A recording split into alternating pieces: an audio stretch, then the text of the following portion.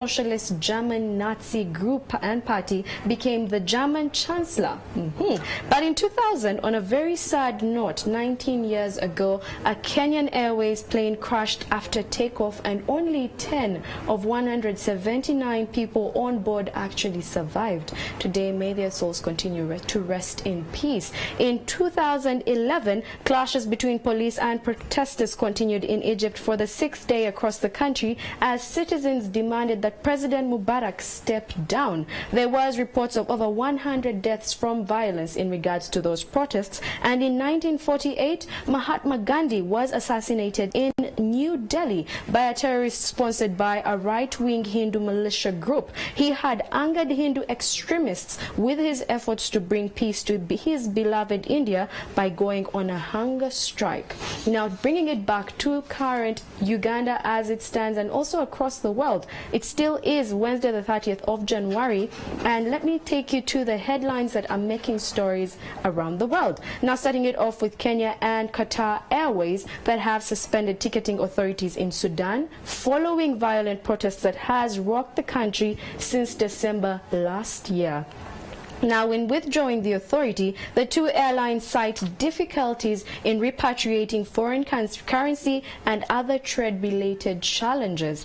Ticketing Authority is the airline's authorization to International Air Travel Association, accredited agent to issue tickets on its behalf. And over from there into Mbale district, where a shortage of blood has hit Masafu Main Hospital, with the whole facility left with only three units of blood to cater for three adults who might be in need. Now, Naiga Nasur, a laboratory assistant at that facility, says that the blood bank at the hospital hospital had run out of most of the blood there. Now, Naiga says most patients are either referred to Dabani Hospital, where they have to pay, or have to travel all the way to Mbale Main Hospital, which is over 50 kilometers from Busia, and over to Kumi, where a 61-year-old man collapsed to death after taking five liters of concentrated local brew known as ajon during a drinking competition in Mukongoro sub-county, Kumi district. Now, the SOS there had participated in a, ajon, it's called the John competition, in which one Robert Okapel had staked 2,000 Uganda shillings for whoever emerged winner in a five-minute minute drinking ajon competition. May his soul rest in peace. In Kamuli, we also have Kamuli Municipal Council authorities that have closed 18 private hospitals, sorry, 18 private schools there, most of them reportedly being Christian funded that help orphans and vulnerable children. According to the authorities, the schools lack infrastructure, operate from rented structures with lack of qualified teaching staff and basic skills to handle child education apart from keeping them in place. The schools are Progress Junior School. We also have Heart of Christ Top Hill, Destiny Junior School, Kingways Junior School, Cleveland Junior School, and we also have Happiness Junior School. Now, I beg your pardon, it's actually Cleveland Junior School, St. Kabalemba, and Arise Junior School, and not forgetting Lightway SS Butambala. Now, others are St. Jude Kanange Nursery, Time of Joy Nursery School, Hilltop Junior School, JK Christian School, Hopeland Junior School, Verona Junior School, Favor Junior School, and Modern Junior School.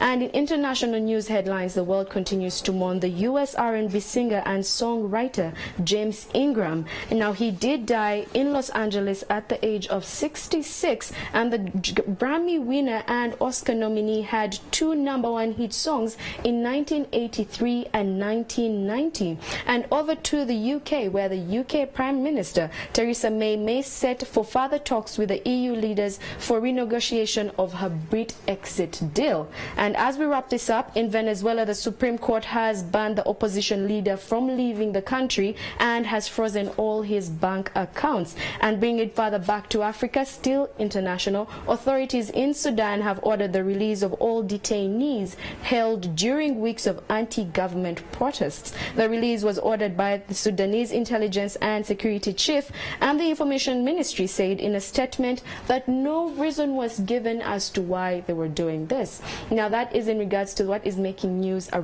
the world and also today in history. But allow Mala to give you a business update. Thank you so much, Rita, for those updates, not just here in Africa, here in the country, but also internationally. Time now to take a look at business updates as well, so you can be in the know. It doesn't matter whether you're a business mogul or just any other person. I'm sure business updates will inform your choices and also just they know, you know, and you should also know that any single business decision that is not made, you know, or is made has an effect on you. It doesn't matter whether here in the country or internationally. Now, let's jump on to international news. Of course, yesterday we did tell you opportunities that you can take advantage of in 2019 in terms of investment. We've seen quite a number of spaces being quite, quote unquote, um, congested, so to speak, but the opportunities yesterday we did sample, you know, one business, and this is breeding and training dogs. Have you looked at it? Do share with me. The hashtag is morning at NTV. Let's jump on to international news. And uh, as Huawei, actually, this is acting up, but let's get that for you. Now, as Huawei faces, you know, kind of turbulent times in the West, yes, it could actually find solace in India. Now, this Chinese company um, that is mired in international controversy um, is still, actually, still has chances of selling its 5G equipment to developing countries like India. So India could, you know, make them breathe a sigh of relief. So that story, of course, be sure to grab that. I'm sure most of us have Huawei gadgets, and um, as much as maybe it doesn't, you know, concern you, um, this is very important for you to take note of. Um, so that's a story that uh, you should be looking out in terms of, you know, kind of gadgets. But here on the show today, on business updates, we'll be looking at the banking sector. Huawei, of course, has quite a number of gadgets. Do you have a uh, Huawei phone? How is it working out for you? Have you used it to do your online banking as well? So online banking is our conversation today, and I'm joined by guests on the deck. I'll just walk to them, and um, I'm joined by Miss Olga Arara Kimani. She is the regional head corporate affairs for Africa and the Middle East at Standard Chartered Bank here in Uganda. Welcome to the show. Thank you. Next to him, uh, we have uh, his, I'll say His Excellency. of course, Mr. Innocent Omesa, thank you so much for making time. Let's talk about the banking sector and this new app that, uh, quote unquote, could um, cause turbulent times in the banking sector. Olive. I wouldn't say um, turbulent times. Thank you for having us. You're welcome. Uh, first of all, but I think no. I think it's an it's part of the revolution. Okay. Um, we've seen adoption, as you were just talking about it as well. Uh, take up of smartphones in the market. I think demands as well coming through from our clients. People really don't want to come into the branch to do their banking anymore, and we felt it important, obviously, to tap into that Mm. and make sure that we would find you know a convenient channel to make sure that clients could. We've had our Standard Chartered Mobile SC Mobile app, as you said, for a while in the market from Right. 2012, and what we did yesterday was to then upgrade it. Where now, if you're a new to bank customer, you don't need to leave your environment, you don't need to leave home. You can actually just download the app and be able to open a new account. Interesting, interesting. But the question would be, we've seen uh, many banks coming up with different apps just to ensure that there's convenience and efficiency um, on banking with their clientele. How different is yours? I'll let Innocent answer that. Innocent. Thank you, thank you. So, um, as Olga did say, we just did uh, our launch yesterday of the new mobile app, and it's coming with lots of digital capabilities. But the number one thing that we're telling our clients is that you know, gone is the time when you need to come to the branch and fill in that piece of paper to open the account, sign this, sign there. Right, right, uh, right now, you will move into the app and open the account under 15 minutes. Under 15 minutes. Under 15 minutes. All right. And the difference about it is you're not going to go in and bring in all sorts of paper that we need from you. No, it's very simple. Get your national ID, take a picture of it, load it, and you don't need to go to the studio anymore to take the passport sized photograph. No. Just pick the phone and take yourself a load. Under 15 minutes, we will advise you of the account. And this account is live with the system. Brilliant. It's not a virtual account. You are able to transact.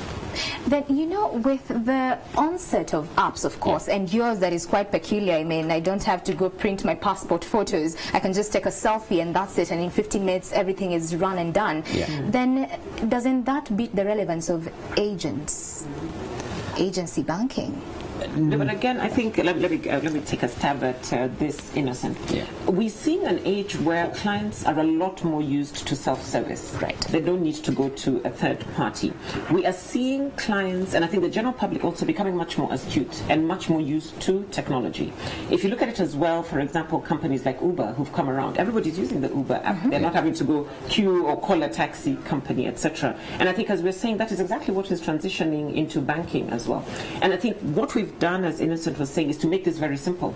You literally just need a copy of your ID and you're, and you're able to take a selfie Right. and you're able to, to go. Okay. Uh, while you would need maybe additional support, we have a contact center where you can call and we have agents who will be able to then answer any queries. But again, what we're trying to do is not trying to move you out of your environment. You don't need to move, you don't need to go to an agent, you don't need to, you know, have to pay for a cab or get your car. Okay, and my question maybe would have been is uh, we have agent banking as well that has Yeah. been embraced in the market, and I think every single bank has agent banking in different sectors, um, in different regions as well in the country, because we were trying uh, to take the banks closer to even the rural areas. So now that even our judges have phones, we can all access data. Yeah. Then doesn't it beat the role of agents in these areas? Innocent, maybe. Uh, actually, it doesn't beat uh, the presence of the agents because it's Okay. complementary. And remember that today, if you want to do your banking, you need to go to the branch.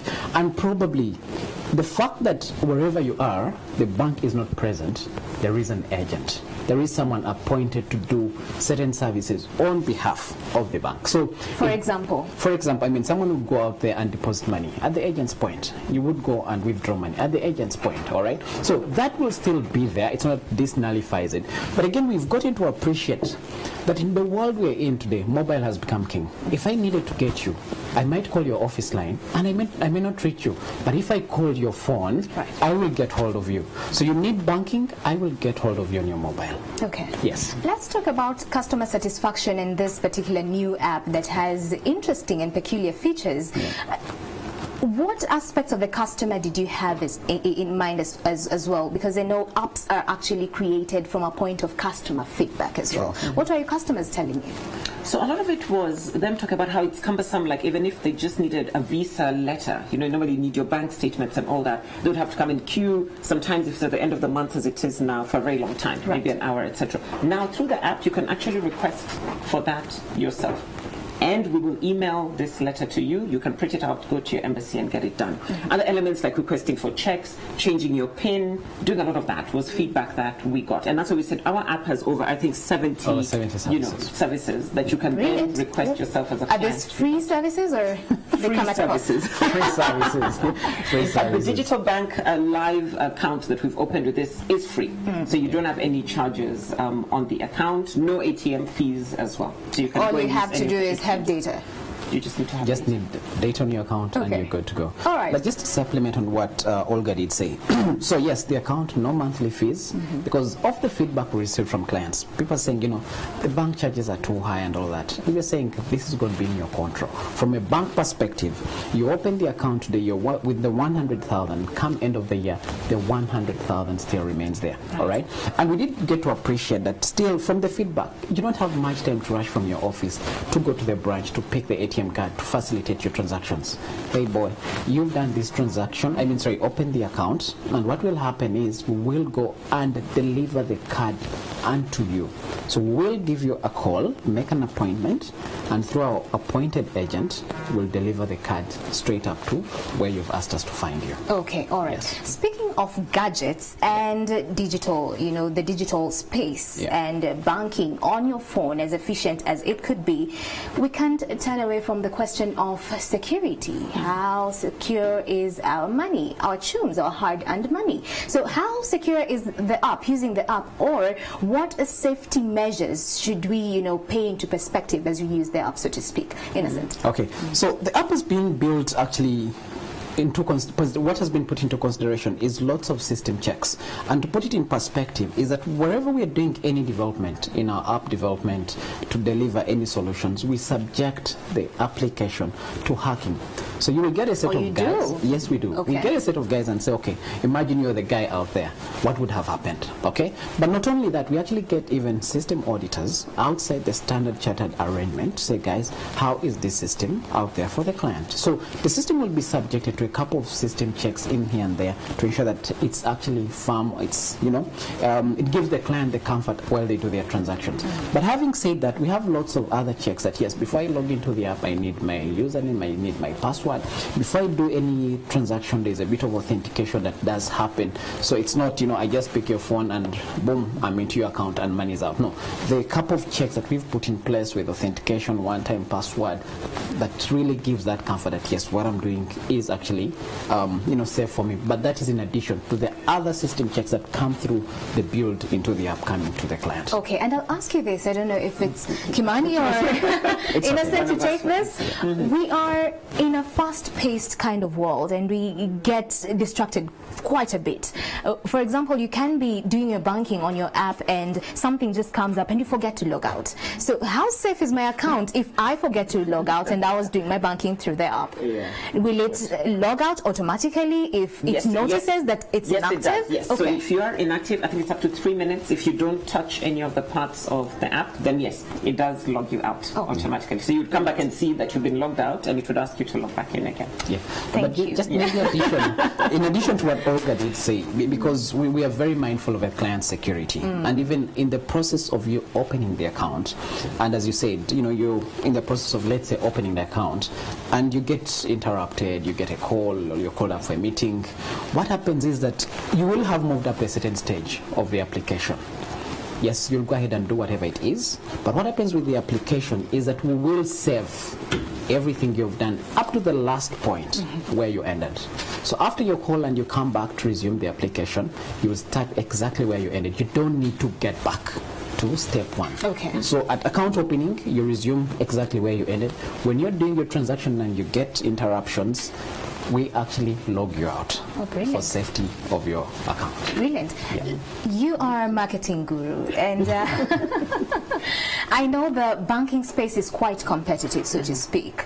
Let's talk of patenting. Uh, one person comes up with an idea, and another bank takes it, actually modifies it, makes it better, and runs with it. What is it for you as a bank? How do you safeguard your innovations and your um, peculiarities, so to speak? So I think you will see it as well, and, and I think you, I mean, sorry, Innocent was going to take us through a, a demo so that you can see it. I think it's really very much about the brand, and we've also said that in future banking will become ubiquitous, sort of like electricity and water. It doesn't matter who your provider is. For us, it's very much about the services that we provide in there that we know obviously are not replicable.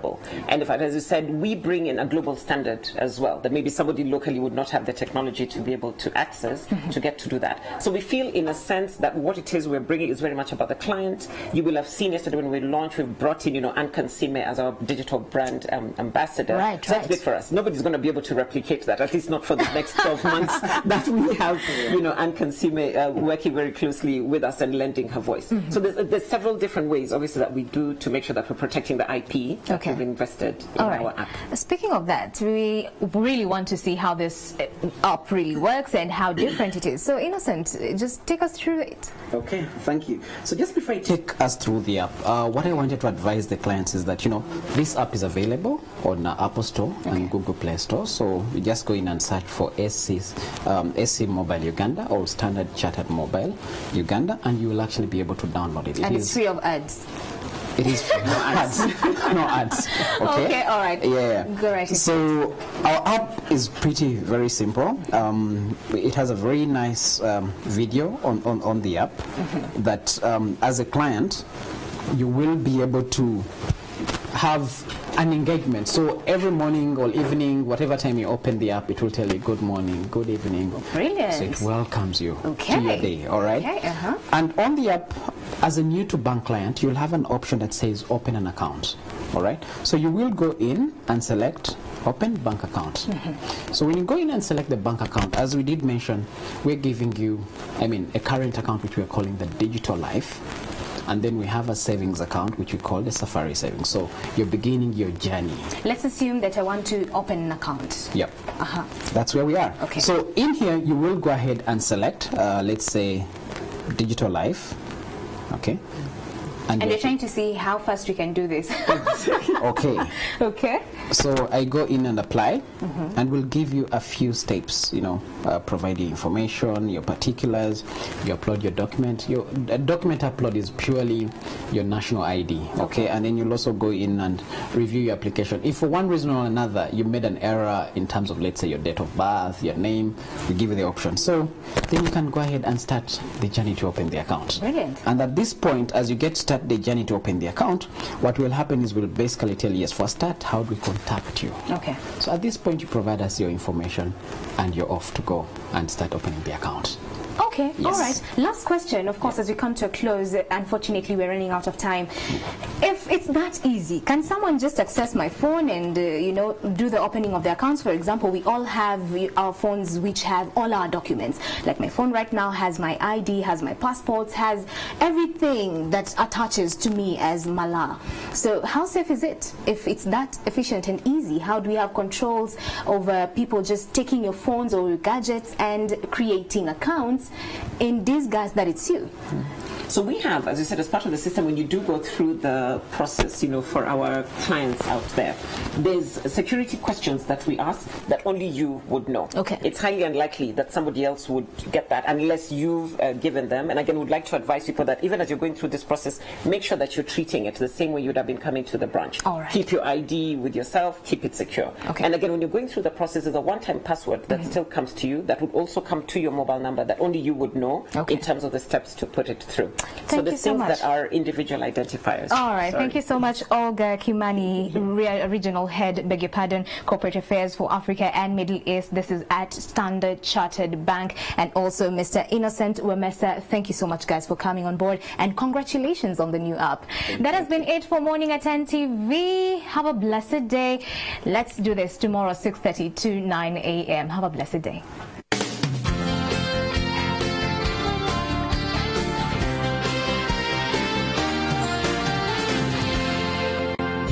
Watching Morning at NTV.